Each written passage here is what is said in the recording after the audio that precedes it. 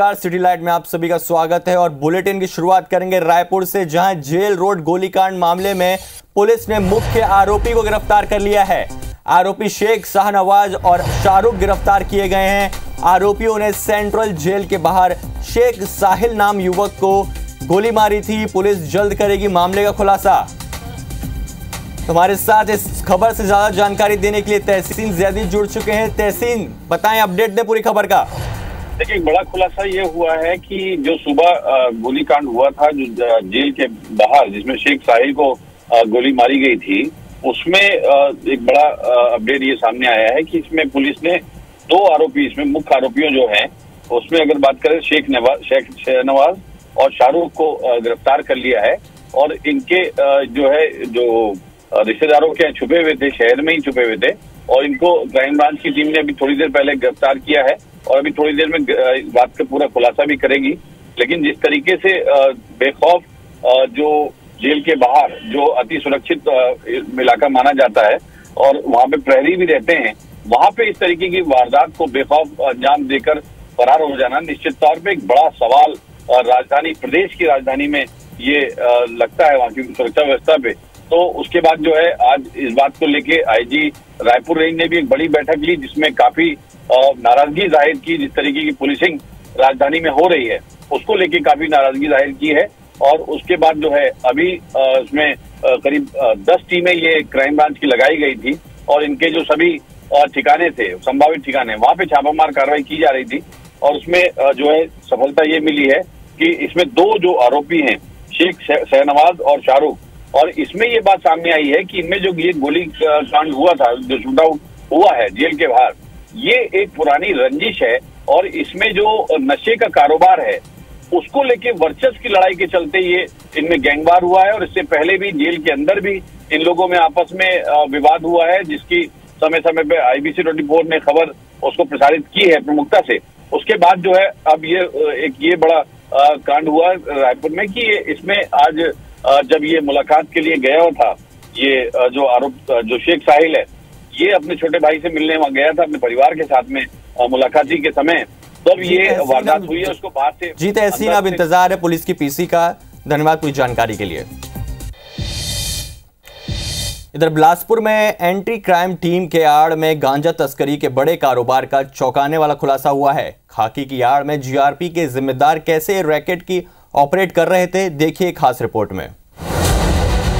Train में गांजे की बिक्री खाकी की आड़ में तस्करी वर्दी की फिर किरकिरी जिस खाकी को देखकर तस्कर खौफ खाते हो वही खाकी वाले अगर गांजे की तस्करी करने लग जाएँ, तो भला इस देश का क्या होगा? उड़ीसा से छत्तीसगढ़ होते हुए बड़े पैमाने पर गांजा मध्य प्रदेश उत्तर प्रदेश राजस्थान महाराष्ट्र और दूसरे प्रदेशों में पहुँचाया जाता है। तस्करों पर नकेल कसने आरपीएफ जीआरपी और लोकल पुलिस स्पेशल टीमों का गठन किया गया है। लेकिन यही टीमें अब स्पेशल टीम की आड़ में खुद गांजा तस्करी और गांजे के कारोबार का रैकेट चला रही एंटी क्राइम टीम की आड़ में जीआरपी के जिम्मेदार आरक्षक सौरभ नागवंशी, मन्नू प्रजापति, संतोष राठौर और आरक्षक लक्ष्मण गाइन गांजा के इस रैकेट का न केवल संचालन कर रहे थे, बल्कि बड़े स्तर पर गांजा तस्करी करते हुए खुद इस रैकेट को लीड कर रहे थे।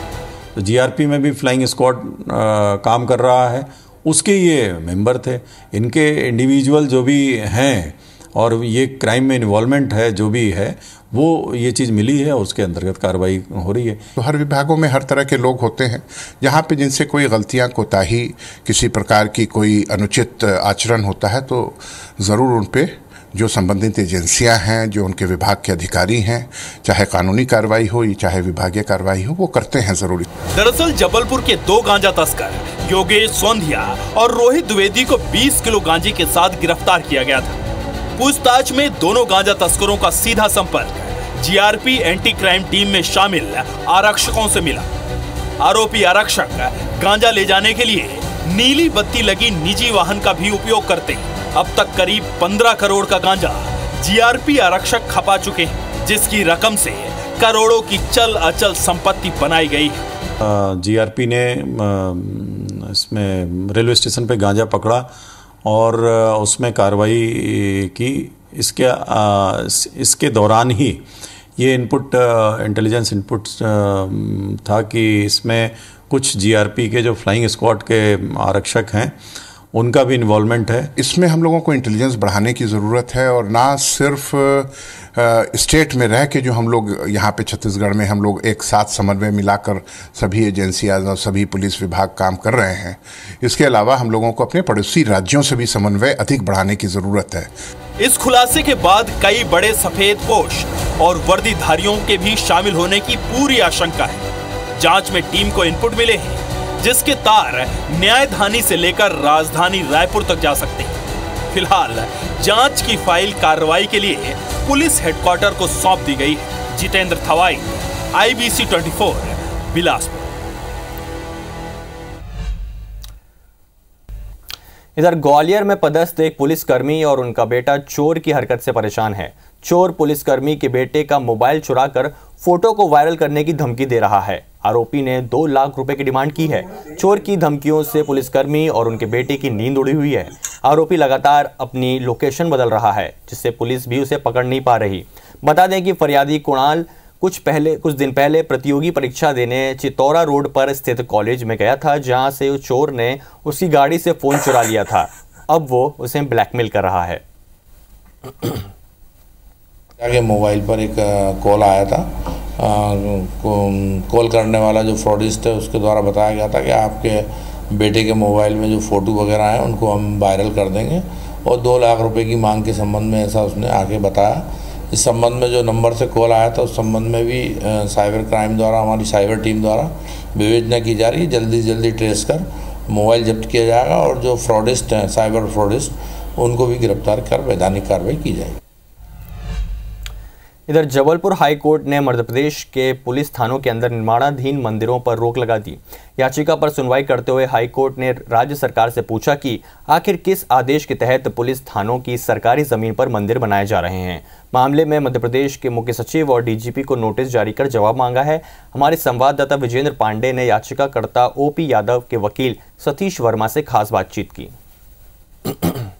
जबलपुर हाईकोर्ट ने एक याचिका पर सुनवाई करते हुए मध्य प्रदेश के तमाम पुलिस थानों के भीतर उनके परिसर में शासकीय भूमि पर बन रहे मंदिरों के निर्माण पर रोक लगा दी है। हाईकोर्ट ने पूछा है कि आखिर किस आदेश के तहत मंदिरों में सरकारी ज़मीनों पर मंदिर निर्माण किया जा रहा है और इस मामले पर डीजीपी को प्रदेश के मुख्य सचिव को नोटिस भी जारी किया है और इस मामले को लेकर एक याचिका दायर की गई थी, जिस पर हाईकोर्ट जबलपुर का ये आदेश आया इस वक्त हमारे साथ सतीश वर्मा जी हैं, उनसे हम बातचीत करेंगे। इस याचिका में आप लोग लोगों की ओर से क्या तथ्य पेश किए गए हैं सर? ये याचिका में आज माननीय न्यायालय ने नोटिस जारी किया है आदेश नहीं आया है। इस इस, इस नोटिस में मान इस इस याचिका में ये आरोप है कि पूरे प्रदेश के अंदर थाने जो नए बनाए जा रहे हैं या अभी हाल ही में बनाए गए हैं उन परिसरों में, में मंदिर और अवैध धार्मिक स्थल बनाए जा रहे हैं। जो कि माननीय सुप्रीम कोर्ट के आदेशों का घोर उल्लंघन है और ये जो इनका उल्लंघन करने वाले हैं वो उन ये उन थाने के जो थानेदार हैं वो स्वयं हैं। और जो सर, पब्लिक सर्वेंट और थाने थाने शासकीय कर्मचारी होते हुए भी ये कृत्य कर रहे हैं। तो हमने इसमें याचिका में उन उन उन स्थानों के हटाए जाने के अलावा ये मांग की है कि इन सभी अधिकारियों के ऊपर अनुशासनात्मक कार्रवाई की जाए और सिविल सर्विस एक्ट के हिसाब से भी इन पर कार्रवाई की जाए। और ऐसे जो माननीय न्यायालय ने पुराने स्ट्रक्चर्स के ऊपर तो नो, नोटिस जारी किया ही है और साथ में जो अभी निर्माणाधीन है वर्तमान में या बनाए जा रहे हैं उन पर भी रोक लगा दी है। खासकर जबलपुर के जो चार थाने अभी वर्तमान में बनाए गए हैं जो जो। कि विजयनगर सिविल लाइंस लाडगंज और मदन महल इनमें थानों के निर्माण के दौरान ही चार मंदिर बना लिए गए। बनते समय तत्कालीन जो जबलपुर कलेक्टर थे, उनको बताया गया था, एसपी को बताया गया था, पर उन्होंने किन कारणों से उदासीनता दिखाते हुए ये सब बर्दाश्त किया और वो निर्माण होने दिए? तो हमने उनको भी पार्टी बनाया है और याचिका में आरोप है कि उन पर भी एक्शन लिया जाए। देखना होगा कि उन्नीस नवंबर तक ये जवाब आने के बाद कोर्ट आगे इस मसले पर क्या रुख अपनाता है? फ़िलहाल बड़ी खबर यह है कि जबलपुर हाई कोर्ट ने मध्य प्रदेश के तमाम मंदिरों में बन तमाम पुलिस थानों में बन रहे मंदिरों के निर्माण पर रोक लगा दी है और इस मसले पर प्रदेश सरकार को नोटिस जारी कर जवाब मांगा है। कैमरामैन सतीश सराठे के साथ विजेंद्र पांडे आई बी जबलपुर। इधर बागे, बागे, बागेश्वर धाम के पीठाधीश्वर पंडित धीरेन्द्र शास्त्री इन दिनों छत्तीसगढ़ के दौरे पर हैं। इस दौरान उन्होंने कवर्धा और कांकेर में हनुमान जी और धमतरी में माता अंगार मोती के दर्शन किए। कुंभ में गैर हिंदुओं के प्रवेश को लेकर कहा कि मैं संतों के समर्थन में हूँ। उन्होंने कहा कि हम मुसलमानों के खिलाफ नहीं, थूक कांड करने वालों के खिलाफ हैं। पंडित शास्त्री ने कहा कि हम बहुत जल्द बस्तर से धर्मांतरण के खिलाफ पदयात्रा करेंगे।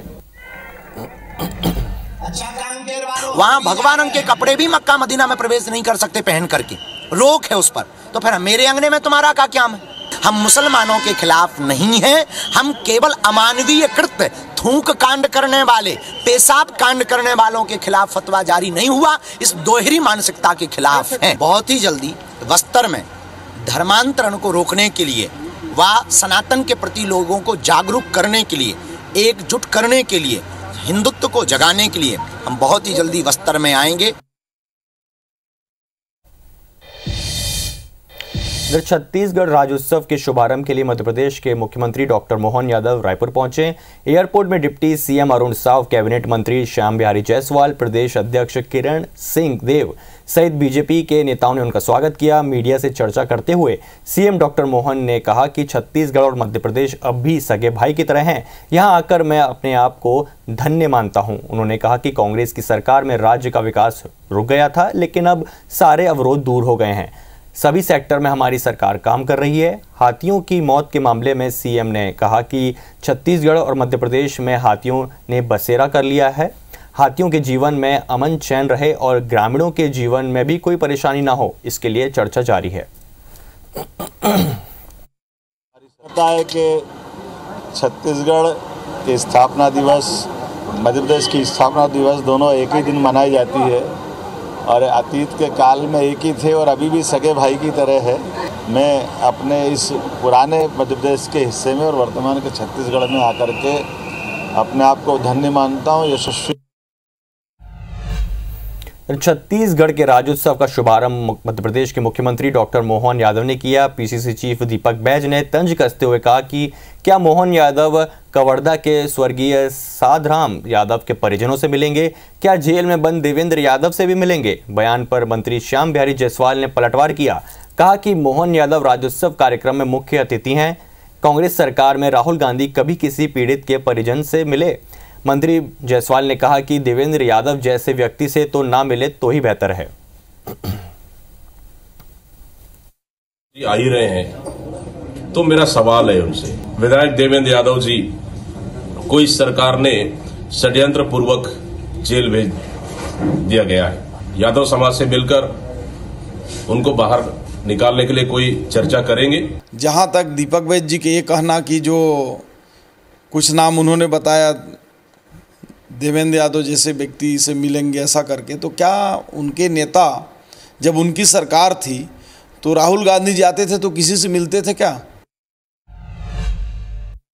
रायपुर दक्षिण विधानसभा में आज सर्व यादव समाज ने दिवाली मिलन समारोह का आयोजन किया। इस कार्यक्रम में मध्य प्रदेश के मुख्यमंत्री मोहन यादव छत्तीसगढ़ के मुख्यमंत्री विष्णुदेव साय, डिप्टी सीएम अरुण शाह और सांसद ब्रिजमोहन अग्रवाल शामिल हुए। मध्य प्रदेश के सीएम डॉक्टर मोहन यादव ने कहा कि राम का मुस्कुराना कांग्रेस को पसंद नहीं। कांग्रेसी जब राम के नहीं तो कृष्ण के कहा होंगे? वहीं छत्तीसगढ़ के मुख्यमंत्री ने कहा कि हमारी सरकार शहरी क्षेत्र में पट्टा बांटेगी। बीजेपी सांसद ब्रिजमोहन अग्रवाल ने कहा कि रायपुर दक्षिण का मैं परमानेंट विधायक हूँ और सुनील सोनी अधिकृत विधायक होगा।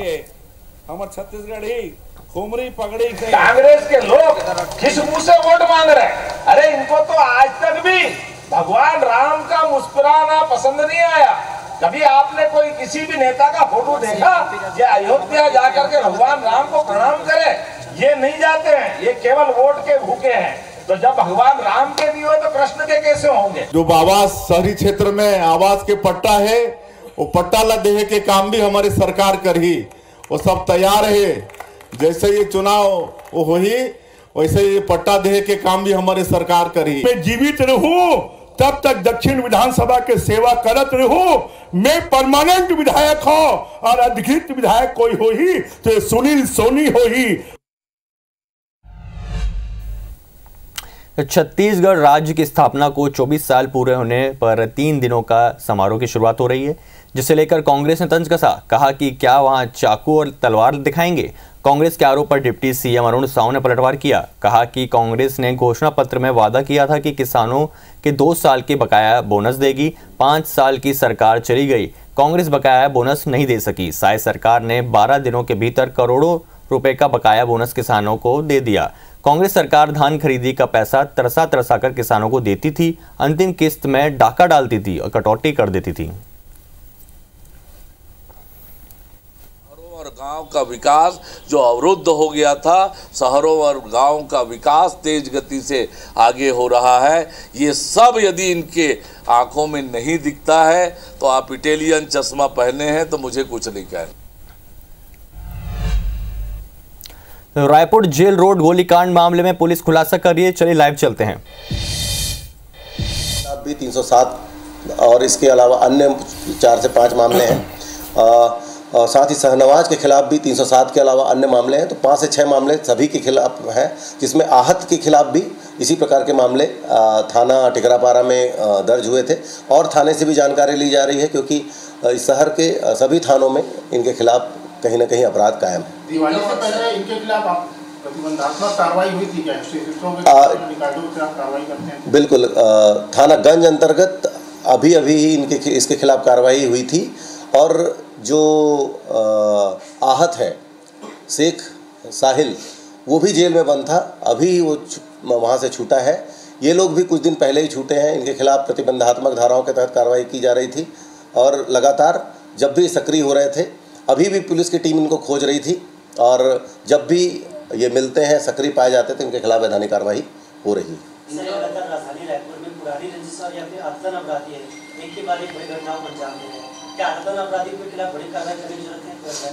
जो भी घटनाएँ हुई हैं पुलिस ने तत्परता पूर्वक कार्रवाई करते हुए आरोपियों को पकड़ा है और सभी में आरोपियों को अपराधियों को सलाखों के पीछे भेजा है। इनका मकसद सिर्फ़ डराना धमकाना था या जान से मारने का था? कुछ प्रारंभिक प्रथम दृष्टा से जिस प्रकार से गोली चली थी जान से मारने की नीयत से ही चलाई गई थी क्योंकि वाइटल पार्ट पे लगा है किंतु अभी हालत स्थिर है और खतरे से बाहर है सब बताया रहे डॉक्टर। तो निश्चित रूप से उसकी जान बचा ली जाएगी। इसके अलावा सर ये खमाड़ी थाने में एक बुज़ुर्ग की हत्या की गई थी। उसमें अभी तक किस तरीके का अपडेट है? क्या कार्रवाई की गई इधर बांधवगढ़ में 10 हाथियों की संदिग्ध मौत के मामले में अब सियासत भी गर्मा गई है। नेता प्रतिपक्ष उमंग सिंघार ने बड़ा बयान देते हुए दावा किया कि बांधवगढ़ नेशनल पार्क के भीतर चलने वाले आलिशान रिसोर्ट संचालक नहीं चाहते कि हाथी यहाँ रहें। उमर सिंघार ने सरकार से मांग करते हुए कहा कि दोषियों को क्लीन चिट देने के बजाय सरकार रिसोर्ट संचालकों की भूमिका की जाँच करे। इधर उमंग के बयान पर बीजेपी के पूर्व विधायक यशपाल सिंह सिसोदिया ने पलटवार करते हुए कहा कि कांग्रेस उल जलूल आरोप न लगाए। सरकार इस मामले को लेकर गंभीर है। हर पहलू की जाँच की जा रही है। ऐसी जानकारी मिली कि रिजोर्ट के जो मालिक है इन लो, ये लोग नहीं चाहते थे कि वहाँ पे हाथी रहे। और रही कोदू कुटकी खाने से मौत होती तो वहाँ आदिवासियों के गाय बैल है बकरी है वो भी खाते वो भी मरते। सिर्फ़ हाथी क्यों मरे? और पिछले चार साल से वो लोग रह रहे तो फॉरेस्ट विभाग क्या कर रहा था? फॉरेस्ट विभाग ने क्यों नहीं देखा? कि जैसे ही घटना संज्ञान में ही माननीय मुख्यमंत्री जी ने बहुत गंभीरता के साथ उसको सारे प्रकरणों को अपने हाथ में लिया। निलंबन भी हुआ है। कहाँ क्लीन चिट दे रहे हैं? उच्च अधिकारियों के, दो दो अधिकारियों के निलंबन किया है, पूरी जाँच टीम का गठन किया है। मुख्यमंत्री जी लगातार उसकी समीक्षाएँ कर रहे हैं। इधर ग्वालियर में बीजेपी की बैठक का आयोजन किया गया। यहाँ बीजेपी के प्रदेश अध्यक्ष वी डी शर्मा, राष्ट्रीय संगठन महामंत्री के एल संतोष सहित बड़ी संख्या में बीजेपी के पदाधिकारी और कार्यकर्ता मौजूद रहे। मीडिया से चर्चा में प्रदेश अध्यक्ष वी डी शर्मा ने कहा कि सौभाग्य है कि राष्ट्रीय संगठन महामंत्री के एल संतोष आज हमारे साथ हैं। उनका मार्गदर्शन कार्यकर्ताओं को मिलेगा। उपचुनावों को लेकर प्रदेश अध्यक्ष ने कहा कि विजयपुर और बुधनी विधानसभा के उपचुनावों में बीजेपी इतिहास रचेगी। उन्होंने कांग्रेस पर निशाना साधते हुए कहा कि मिस्टर बंटाधार दिग्विजय सिंह और मिस्टर करप्शन नाथ, कमलनाथ को जनता नकार चुकी है। विजयपुर और बुधनी विधानसभा के उपचुनाव।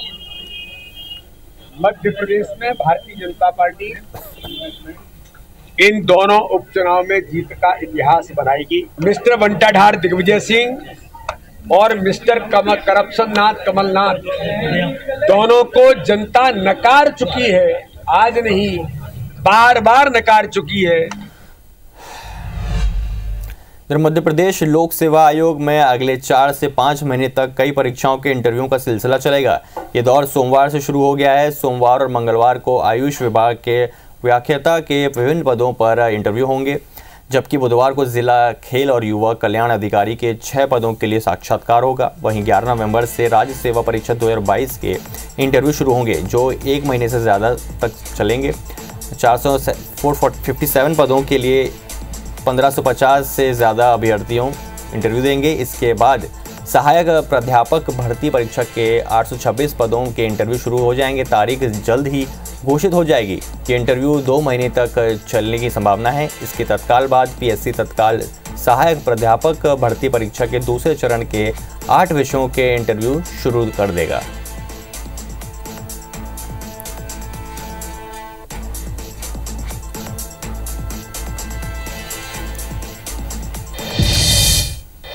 छत्तीसगढ़ राज्य की 24वीं वर्षगांठ पर 5 नवंबर से तीन दिवसीय राज्योत्सव का आगाज़ हो गया है। नवा रायपुर के तूथा में भव्य उद्घाटन समारोह का आयोजन किया गया, जिसमें विधानसभा अध्यक्ष डॉक्टर रमन सिंह, मुख्यमंत्री विष्णुदेव साय और एमपी के मुख्यमंत्री डॉक्टर मोहन यादव मुख्य अतिथि के रूप में शामिल हुए।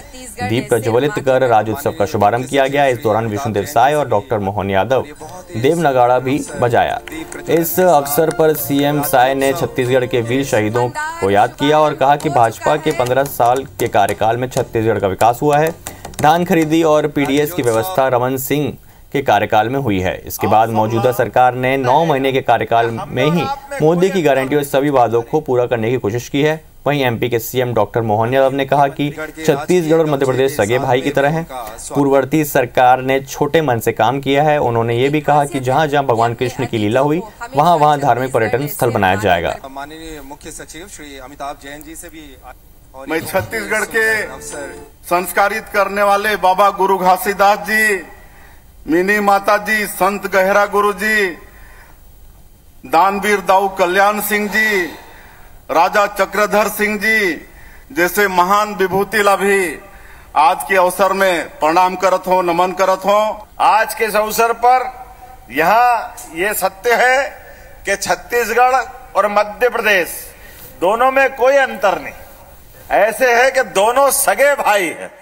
इसीलिए उस भाईचारे को बनाए रखने के लिए इतने संभावना वाले प्रदेश के साथ पूर्ववर्ती सरकारों ने बहुत छोटे मन से काम किया।